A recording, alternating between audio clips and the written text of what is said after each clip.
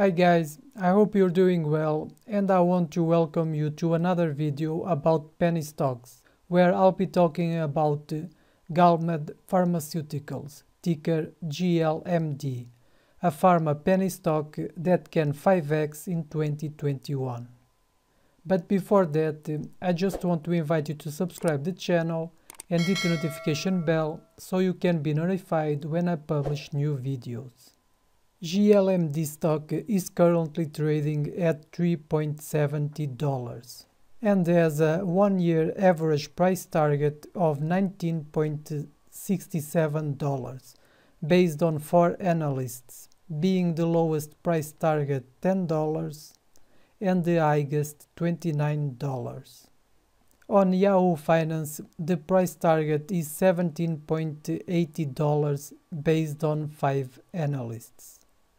GalMed is a clinical stage biopharmaceutical company for liver, metabolic and inflammatory diseases. This pharma company from Israel is developing Aramchol, an oral therapy which is in phase 3 pivotal study for the treatment of non-alcoholic steatohepatitis NASH and also Amilo 5 MER for chronic inflammatory disorders, which first human study is set to initiate in the first quarter of 2021. NASH, non-alcoholic steatohepatitis, is an emerging world crisis impacting an estimated 3 to 5% of the US population and an estimated 2 to 4% globally.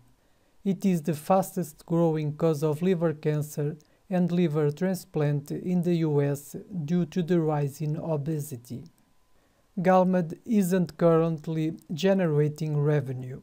The company has $58.59 million in total cash and only $247,000 in debt. Its cash burn was $21 million over the last year so it has almost three years of cash runway. There's no doubt that this is a reassuringly long runway for the company to keep its R&D going and bring Aramchol to the market. The stock is currently trading 11.77% below its 200-day moving average, so this could be a good entry point. Thanks for watching and don't forget to drop a like to help the channel grow.